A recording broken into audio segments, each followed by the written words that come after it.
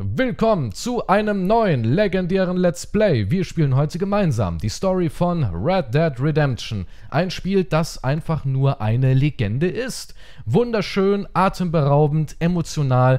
Eines der wenigen Spiele, die mich wirklich emotional gepackt haben, wo ich den Tränen nahe war. Und ich bin echt kein Mensch, der nah am Wasser gebaut ist. Also ich weine wahrscheinlich alle 200 Jahre mal. Aber dieses Spiel hatte so einen Moment, wo ich wirklich gedacht habe, oh mein Gott, oh mein Gott, diese Offenbarung, diese Offenbarung, dieser Bruch vom wilden Westen in die Zivilisation, dieser Moment ist immer noch in meinem Gedächtnis. Das ist mir so nahe gegangen, das hat sich wirklich in mein Gehirn eingebrannt.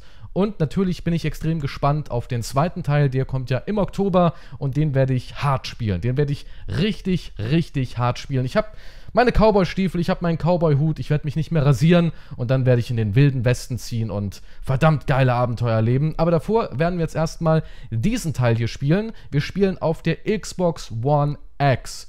Auf dieser Konsole gibt es die schönste Version, denn es gab ein Update, ein 4K-Update. Dadurch wurde die Grafik nochmal ein bisschen aufgehübscht. Man sieht es wahrscheinlich auf YouTube nicht ganz so deutlich, aber ich habe mir ein paar Videos angeguckt. Es ist doch nochmal ein großer Unterschied zwischen alten Aufnahmen auf der Xbox 360 und jetzt hier eben die neuen 4K-Aufnahmen. Ihr dürft also gespannt sein. Das Spiel sieht immer noch schön aus. Unterstützt es mit einer Bewertung denn eine Bewertung wäre jetzt sehr, sehr wichtig. Okay, dann legen wir los. Es kommt ein langes Intro. Seid gespannt.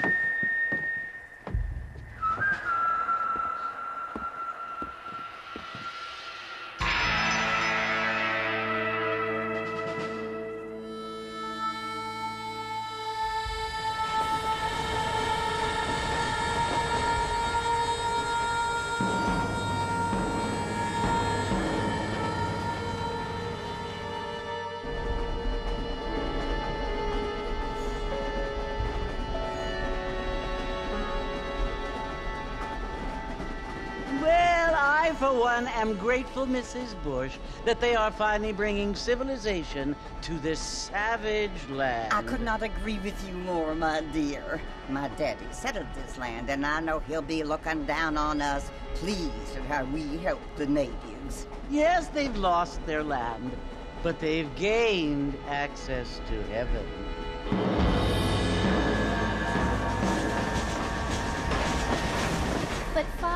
Do you mean unless an innocent receives communion, they're destined to go to hell? Uh, that hardly seems fair. Uh, What I mean to say, Jenny, is that there is a great deal of difference between an innocent and a savage. I never thought of it that way. Yes, they lived like animals, but they're happier now.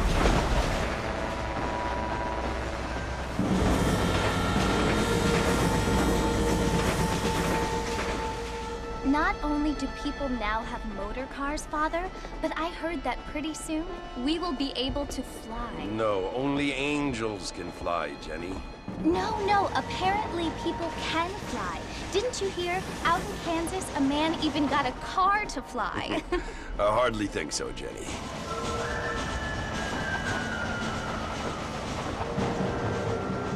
Apparently, Mr. Johns wants to run for governor, which is why he's so concerned with cleaning up the state. Nate Johns. Yes. His family is nothing but hillbilly trash that came here after the war. I don't want to be judgmental, but this state should not be ruled by such a disgusting family. A family without class. Apparently.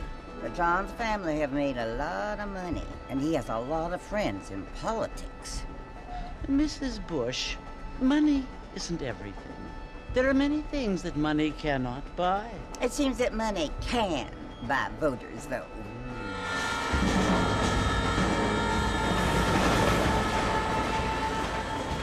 What you must remember, my dear, is that we have been brought here to spread the word. And the word and civilization, they are the same thing.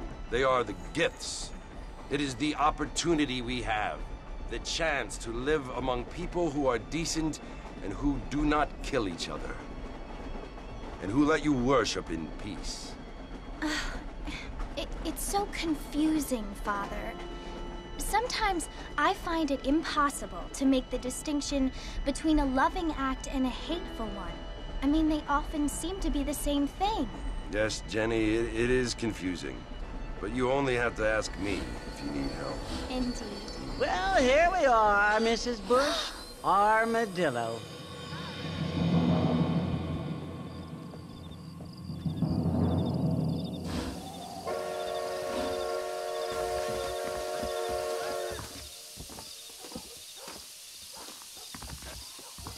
Ah, der wilde Westen, es geht los, Armadillo Station.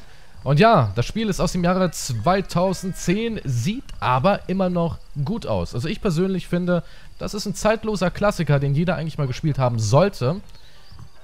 Die Atmosphäre, die Atmosphäre. Damals, als ich das Spiel zum ersten Mal gespielt habe, ich wurde so in diese Welt hineingesogen, ich war gefangen. Ich habe mich wirklich wie ein Cowboy gefühlt. Stellenweise habe ich nur noch so Cowboy-Jargon gesprochen.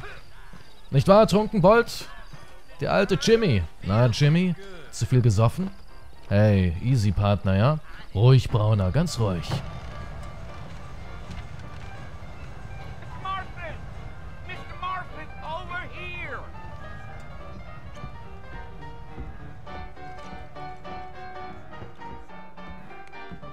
You must be John Marston. Sometimes. I'm Jake. Your friends from Blackwater hired me to guide you. They ain't my friends, but pleased to meet you, Jake. I got the horses saddled up and ready out front.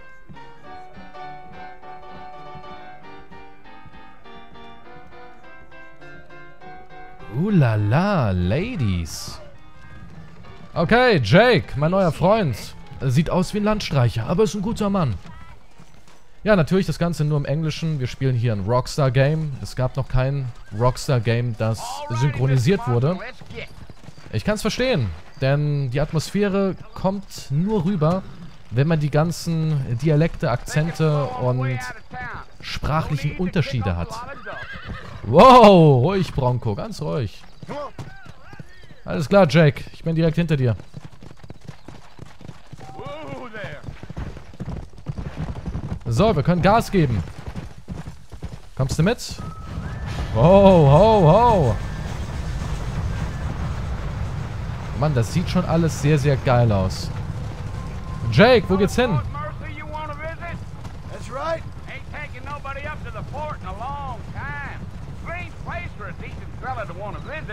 If you don't mind me saying. Who said I was a decent fella? It's been abandoned for years now. Folks say it was built during the Mexican War. All kinds of soldiers around back then. Why'd they leave? Well, I ain't entirely sure. I, I heard they had to go up north to fight Indians, or maybe they got tired of being soldiers and went looking for gold. You know how things is. So what are you doing up at the fort? I'm looking for an old friend.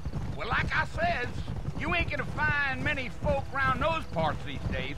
Those you do find are about as sociable as an ulcerated back tooth. I mean, I ain't one to judge a man by the company he keeps, but... Well, he ain't been friends for a long time. Also ja, es gibt wieder ganz viele Dialoge, um die Story ganz kurz zusammenzufassen. Wir waren ein Krimineller, jetzt sind Are you planning wir... on spending any time in Armadillo, Mr. Marston? I doubt it. I ain't planning on staying very long. Well, if you're fixing for some female company, you can do a lot worse than Armadillo. Fine as cream gravy they are. Not like Thieves Landing.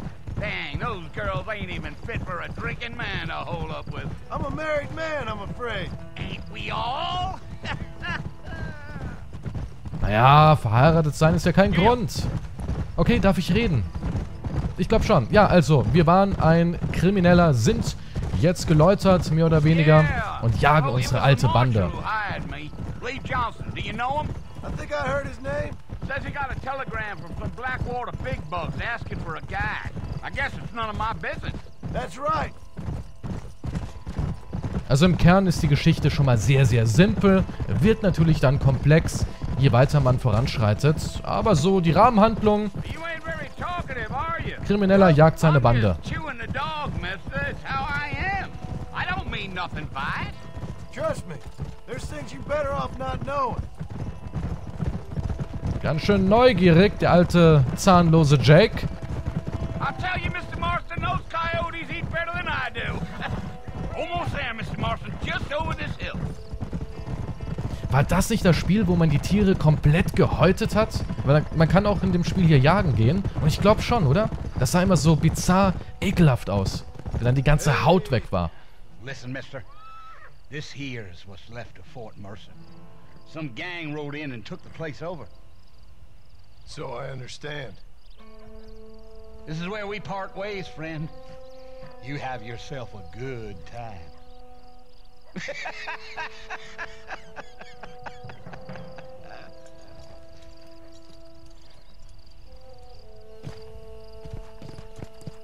Okay. Das vor. Wir gehen langsam ran. Der Himmel, oder wie der Himmel aussieht. Die Atmosphäre. Leider kann ich die Stimmen nicht lauter machen. Es gibt keinen Regler dafür. Ja, das ist halt immer so. Es gibt Soundeffekte und Musik. Wenn ich die Soundeffekte hochdrehe, hören wir noch die Pferde. Jetzt habe ich, glaube ich, die beste Einstellung. Also wirklich viel kann ich daran nicht machen. Aber wir reiten jetzt mal aufs Tor zu und schauen mal, was uns dahinter erwartet. Ganz easy, Partner, ganz easy. Ich suche keinen Ärger. Naja, eigentlich schon. Eigentlich suche ich Ärger.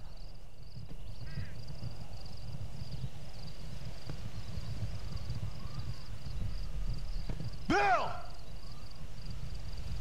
Bill, I've come for you! Bill Williamson! Come out here right now!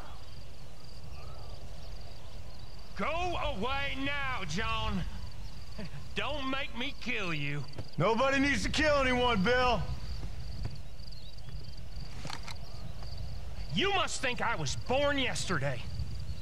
You always did think I was an idiot. That ain't fair, Bill. You were as my brother. I've come to try to save you. oh. Do I look like I need saving?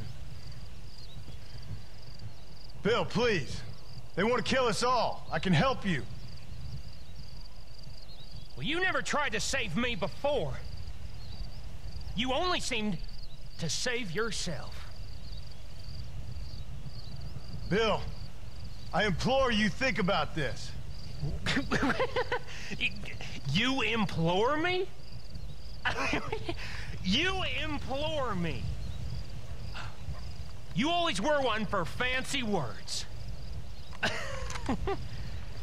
oh. Well, things are different now, John. Now I'm in charge. No more Dutch. And no more you. Implores. I I implores you to go back and tell them to send someone just a little bit more impressive next time. Well, Oh. Poor John.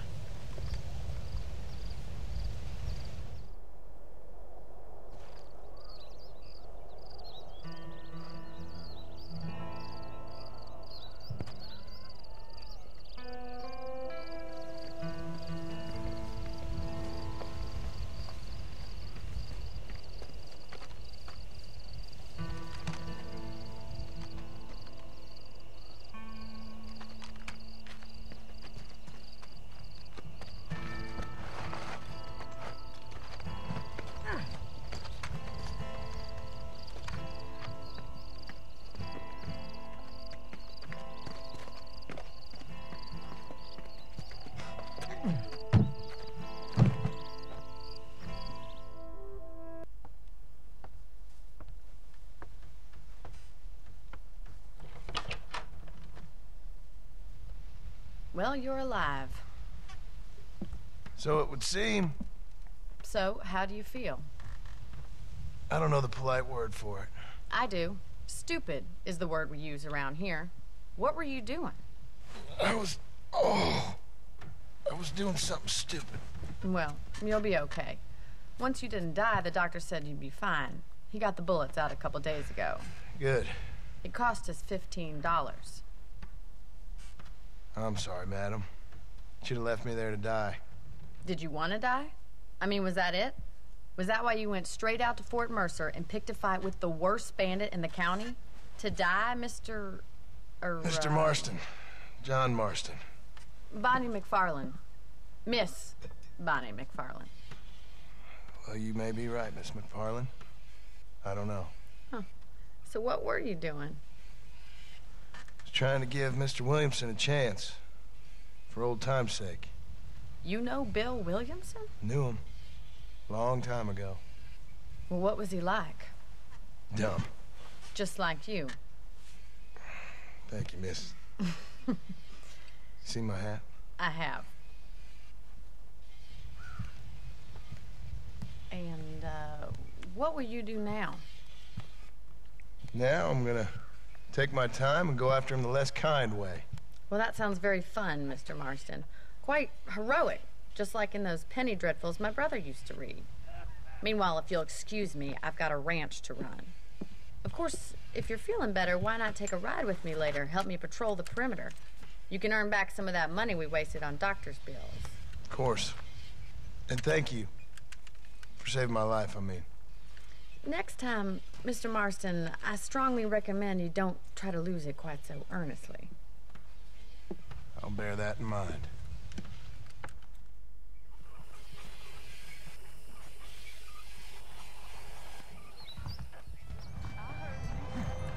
Uh, Bonnie, eine starke Frau. Eine starke Traumfrau, oder? Wunderschön, wild, aber doch irgendwie verantwortungsbewusst. Ja, solche Frauen braucht der wilde Westen. Tja, das lief wohl nicht mit unserem guten alten Freund Bill. Ich habe direkt eine Kugel kassiert und, man sieht es hier, goldene Revolver. Der Mann hat Stil. Der Mann hat wirklich Stil. Aber obwohl ich angeschossen wurde und wahrscheinlich ein paar Tage im Koma lag, geht's mir doch so gut, dass wir rennen können. Okay, gehen wir mal rüber zu Bonnie und schauen mal, was sie für uns hat. Miss Bonnie, Mr. Marston, back in the land of the. Mehr oder weniger. about time I started paying back that $15. I sure can use an extra pair of hands round here. Let's see if we can get you back in the saddle. Ah, der wilde Westen, oder? Tolle Zeit. Wahrscheinlich war es nicht so toll wie in den Filmen. Ich meine, der wilde Westen wird immer sehr stark romantisiert, aber die Träume davon sind schön. Männer waren noch Männer. Pferde noch also Pferde und Frauen noch Frauen. Outlaws, such as yourself. Und Hühner, Mann. Hühner waren noch Hühner. I picked out a fine horse for you. Yeah! Die Welt war rau und und frei. ich meine, der Anfang von Amerika war auch wirklich sehr interessant. Ein Land, das wirklich rau und frei war. Jeder hatte die Möglichkeit neu anzufangen. Leute, die in England kriminell waren, konnten nach Amerika und komplett neue Menschen sein. Man konnte Land erwerben, was aufbauen. Der Anfang von Amerika war schon wirklich sehr, sehr faszinierend. Very convenient. I don't think I've ever seen a ranch with its own store before. Okay, hier drüben gibt es einen Laden. All you can And eat. here's the corral. This one's for the horses. What do you think? I'm no expert, but it certainly looks like a fine corral. I suspect you've stolen more horses than you've broken. Now, where'd you get such an idea? First impressions are hard to erase. Ja, ich war ein, ein schlimmer Finger. Aber jetzt bin ich einer von den Train Guten. station. Things sure have changed since the line finally got finished. Bringing in all sorts of new folk like yourself. Is that such a bad thing? Change is only good when it makes things better. So sieht's aus. Also ich will eigentlich nicht im Wilden Westen leben. Ja, ja, ja. Weil da hätte dich jede Verletzung killen können. Eine Grippe, tot. Ein Zahn, Schlaganfall. Boy. Da war alles möglich. Da kann jede Kugel deine letzte sein. Ja, ich... Ich versuche auch... Ich, ich let's playe, Bonnie. Okay? Und ich bin angeschossen worden. Mal ein bisschen Mitleid.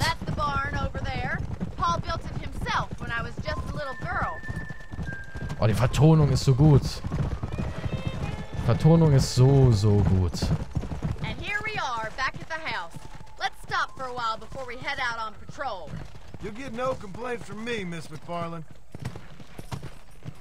Oh, ich kann es anbinden. Ups. Ja, ich muss das sichern, sonst wird das gestohlen, Miss Bonnie. Das wollen wir doch nicht, oder? Ich wiederhole, ich bin angeschossen worden. Entschuldigung, Ma'am. Bei meiner Südstaaten-Ehre. How about a cold drink, Mr. Marston? Thank you, ma'am. Getting shot, then riding a horse seems to take it out of you.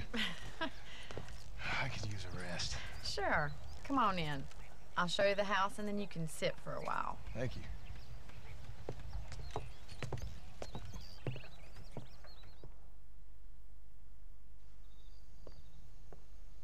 Mr. Marston, Miss McFarland. remember me telling you about the trouble we've been having with rustlers and other undesirables? I do.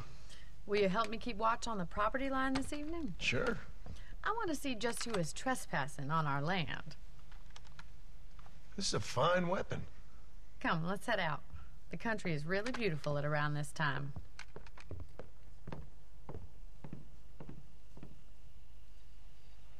Come on, then. Let's mount up and take a look around. Karabiner. Und ich bin endlich wieder hier in voller Montur. Viele wissen ja gar nicht, Red Dead Redemption ist eigentlich streng genommen gar nicht der erste Teil der Serie. Es gab ja noch Red Dead Revolver. Nur keine Sau kennt dieses Spiel. War aber ein hervorragendes Spiel.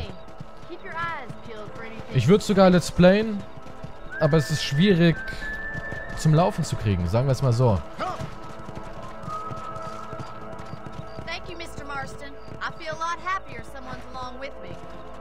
Lot happier now I got a rifle. Well, with your trigger itch and my feminine intuition, we should make quite a team.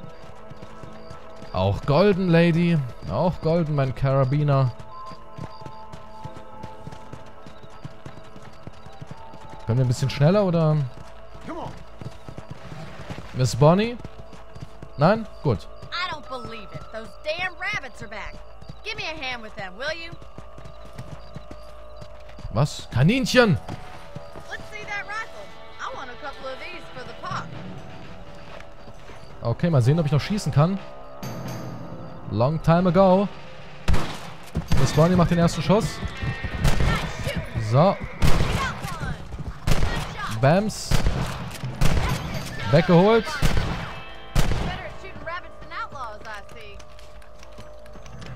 Ich kann nur Hasen töten. Das ist alles, was ich kann.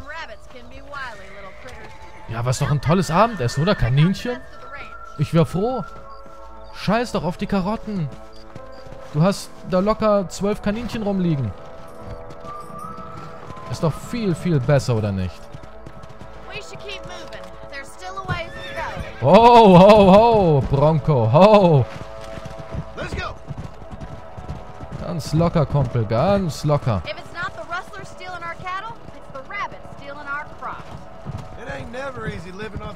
Like this.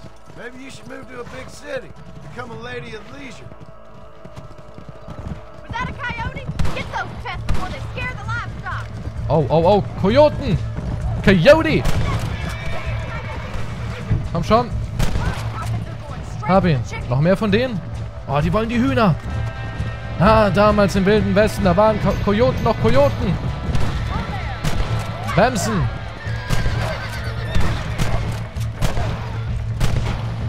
Ah, der ist schnell, der eine hier. Äh, er hat einen Huhn.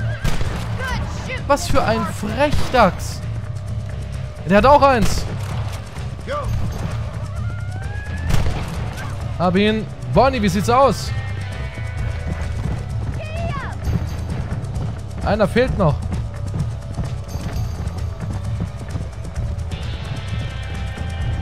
Komm schon. So. Wow. That was the last of the coyotes. Just a shame we had to lose any of the chickens. Come on, I'll show you the way to your room. Okay, das war eine nette kleine Schießerei mit Tieren. Bei Nacht. You know, you can actually handle a rifle. It's something I've had a little experience in. Maybe Bill Williamson did get lucky after all. Luck didn't really come into it, miss. You're a useful man to have around the ranch, that's for sure. But don't think I've forgotten what brought you here. We'll do whatever we can to help you. I sure appreciate that, Miss McFarland. Ich sag ja, eine tolle Frau. So, hier müssen wir den Gaul anbinden. Thank you for your help, Mr. Marston. Makes me kind of happy I saved your life. Get some sleep and I will see you in the morning. Good night, Miss McFarland.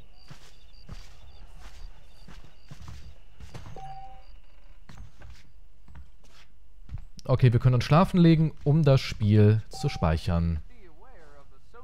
Sechs Stunden später. Ja, damals, da waren die Nächte kurz. Ihr wisst ja, wie es damals war.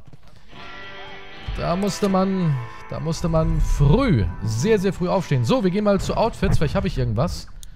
Äh, nee, damals habe ich alles freigespielt. Einfach alles. Alles, was man haben konnte.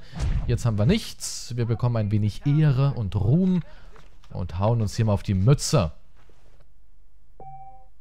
Äh, ja, wir speichern. Ja.